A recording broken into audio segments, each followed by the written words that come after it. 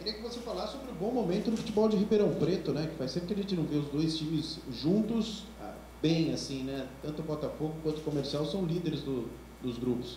Ah, sem dúvida. Eu penso que Ribeirão Preto é uma cidade, uma cidade grande, uma cidade em desenvolvimento, né?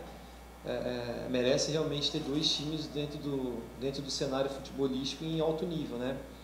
E nesse segundo semestre, pela campanha que, que se vem fazendo o Comercial e Botafogo, podendo aí até tendo a classificação dos dois em primeiro lugar no grupo. Eu penso que Ribeirão ganha muito com isso. O torcedor de Ribeirão é importante que volte ao estádio, que tenha as equipes sempre é, é, disputando grandes competições. É isso que a gente espera.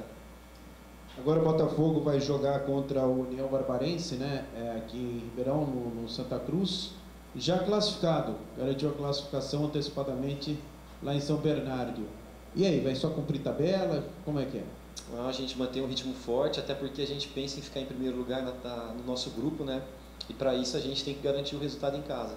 Então a gente mantém um foco, mantém um trabalho, um trabalho forte, é, respeitando a Barbarense, porque a gente sabe, nós jogamos lá, a gente sabe da dificuldade. São Bernardo perdeu o jogo para eles, a gente sabe que é, que é um time difícil aí que, é, que vai exigir bastante da gente durante a partida. Então a gente mantém esse ritmo forte procurando, procurando a vitória, resultado positivo.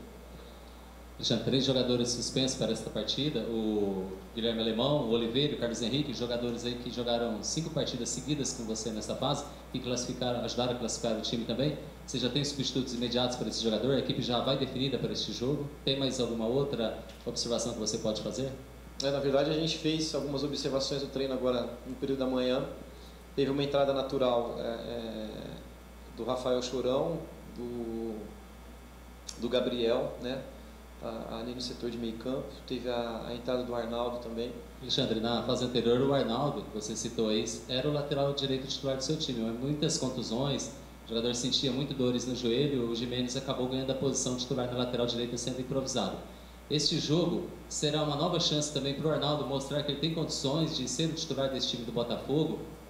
Justamente, como você falou, ele veio de um período de contusão, ficou um tempo fora, né, afastado agora tem uma, uma nova oportunidade, um jogador com uma boa qualidade técnica.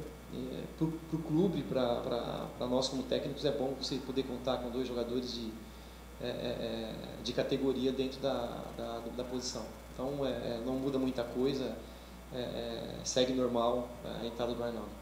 Ferreira, a partir de amanhã entra uma equipe classificada, o Botafogo, e uma eliminada, que é a União Barbarense, já não tem mais condições de conseguir a classificação, mas o Botafogo ainda briga pela primeira colocação. Esse é o espírito da partida de amanhã, entrar em campo para buscar essa primeira colocação, garantir a vantagem de jogar por dois resultados iguais, né, por um empate aqui e também o último jogo, e seguir com a melhor campanha, até visando semifinal e final. É isso que é passado para os jogadores, mesmo com essas mudanças, tem nada de brincadeira não, tem nada de empate. O time entra realmente em busca da vitória para garantir tudo isso, né? Ah, sem dúvida, quem conhece o nosso trabalho sabe que é muito sério, em momento algum no, na vida de um, de um desportista ele pode relaxar, e com a gente não é diferente, a gente vai entrar para poder vencer o jogo, até porque a gente visa aí é, o primeiro lugar do grupo, né? E trabalho é, é, tem que ser forte, a partir do momento que você relaxa, você corre um grande risco de você perder isso na sequência também. Então a gente mantém um ritmo forte, é, como eu falei, com os pés no chão, bem humilde, bem simples, porque a gente sabe que a caminhada ainda é difícil, então a gente não pode deixar é, relaxar no momento. Alexandre, ontem nós tivemos a presença no estado de Santa Cruz do Alexandre Galo, que é o técnico da seleção brasileira da Sub-21, será o técnico da seleção brasileira na Olimpíada de 2016. A visita dele no Santa Cruz é uma motivação a mais para esses jogadores também que já vem brilhando aí com a camisa do Botafogo para se dedicarem mais e verem que as portas do Botafogo também estão abertas na seleção brasileira? Sem dúvida, Reginaldo. Eu acho que o Botafogo ele vem numa, num grande período em relação ao departamento de base. A campanha deste ano também do juvenil é uma campanha muito boa. Então, sem dúvida que isso é, é, é abre aí precedentes a quem sabe possíveis atletas a ser convocados, né? A gente sabe da dificuldade que é fazer um trabalho na base. É, porém, o Botafogo está de parabéns nessa ascensão em relação ao trabalho, né? E a vinda do Galo, sem dúvida, com bons olhos é, em relação a esses atletas, para quem sabe é uma possível convocação no futuro. Queria que você falasse sobre esse forte calor aqui em Ribeirão Preto, é um obstáculo a mais aí para os jogadores, né? Para o pessoal que treina visando as partidas, não tá fácil não, né, cara? Não tá. Inclusive para descansar aqui no, no quarto tá, tá bem abafado. Mas para mim mesmo que estava meio acima quando eu cheguei, foi bom, eu consegui perder meus quilos a mais. E agora tô, tô bem para fazer a estreia amanhã. vai jogar amanhã, enfrentando a equipe do União Barbarense. O que, que você está esperando aí para a sua estreia? Ah, fazer uma bela partida, né? uma bela apresentação e conseguir esses três pontos para a gente se carmentar de vez a primeira colocação no grupo e forte para as partes de finais. Rafael, apesar de você já estar no Botafogo há algum tempo, vem entrando em decorrer de algumas partidas, a maioria dos torcedores do Botafogo ainda não conhece o Rafael Chorão. Queria que você passasse um pouquinho do seu futebol, onde você começou, qual o seu estilo de jogo?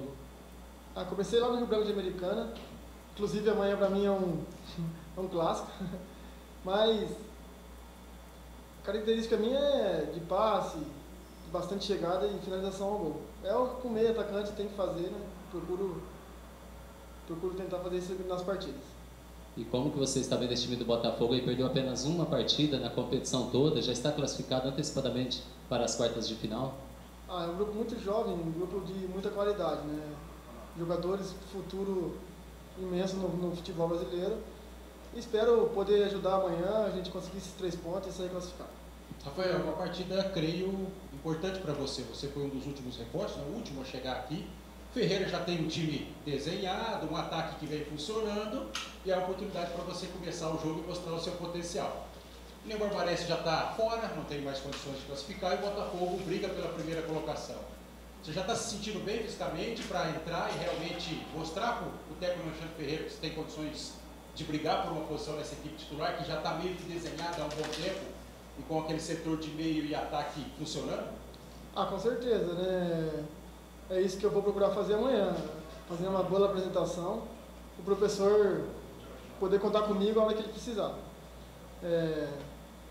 E esse jogo, para eles não vai valer nada, mas para mim vai ser um jogo muito especial para mim, a minha estreia e pretendo fazer uma bela partida para mim continuar depois ajudando o Botafogo.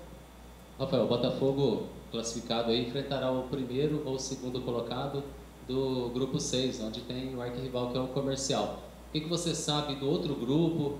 É, existe a possibilidade do Botafogo também pegar o comercial numa próxima fase? O que, que você espera de tudo isso? Ah, a gente amanhã vamos estamos focados para a gente conseguir a primeira colocação. De qualquer maneira, a gente precisa daqui sair daqui com essa primeira colocação para a gente coroar essa bela campanha, para a gente coroar esse então invicto em casa. Agora acho que o time que tem que ser campeão, que nem a gente fez na última rodada na, da primeira fase, não pode escolher o adversário. Se vier o clássico, a gente tem que encarar naturalmente e que vamos chegar na final, se Deus quiser, com certeza.